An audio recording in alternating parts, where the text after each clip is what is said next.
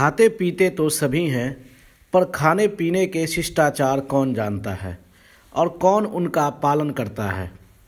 ان میں سب سے مہتوپورن چیزوں میں سے ایک انیواریہ روپ سے حلال کی تلاش میں رہنا تتھا ان کھاد پدارتھوں اور پے سے دور رہنا ہے جو اپنے آپ میں نشدھ ہیں، جیسے کہ سور کا مانس اور شراب، یا انہیں کمانے کے طریقے سے وہ حرام ہو جاتے ہیں جیسے کہ چوری کا بھوجن۔ اللہ تعالیٰ کا کتھن ہے يا أيها الناس كلوا مما في الأرض حلالا طيبا ولا تتبعوا خطوات الشيطان إنه لكم عدو مبين سونے چاندی کے برتنوں میں یا ایسے برتنوں میں جنہیں سونے چاندی کے دوارا مڑھوایا اتھوا النکرت کیا گیا ہو، نہ کھائے پیے۔ حدیث میں ہے، سونے چاندی کی برتنوں میں نہ کھاؤ، پیو، ایوم نہ ہی ان کی رقابیوں میں۔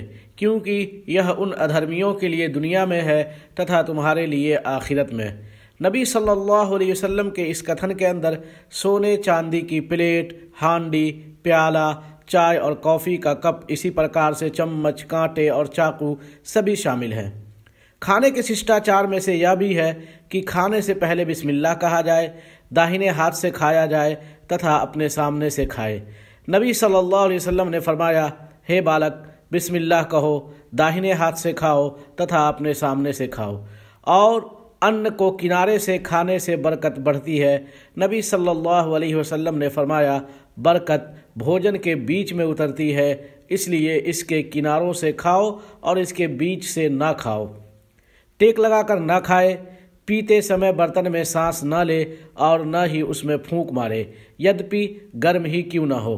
اپیتو پرتیشا کرے، یہاں تک کہ ٹھنڈا ہو جائے تتھا بیٹھ کر تین گھونٹ میں پیے یدی لوگوں کو پانی پلا رہا ہو، تو داہنی اور سے آرمبھ کرے تتھا پلانے والا سب سے انت میں پیے ساتھ بیٹھ کر کھانا اکیلے کھانے سے بہتر ہے، یدپی دونوں پرکار سے کھانا جائز ہے۔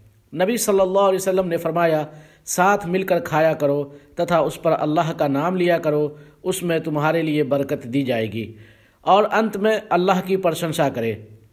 جب دسترخوان اٹھا لیا جاتا تو نبی صلی اللہ علیہ وسلم یہ دعا پڑھتے الحمد للہ کثیرا طیبا مبارکا فی، غیر مکفی ولا مودع ولا مستغنن عنہ ربنا۔ کھانے پینے کے ششٹاچار کا دھیان رکھے کیونکہ یہ نعمتوں کا شکر ادا کرنے میں سے ہے سرو شکتیمان اللہ کا کتھن ہے یا ایوہا الذین آمنوا کلوا من طیبات ما رزقناکم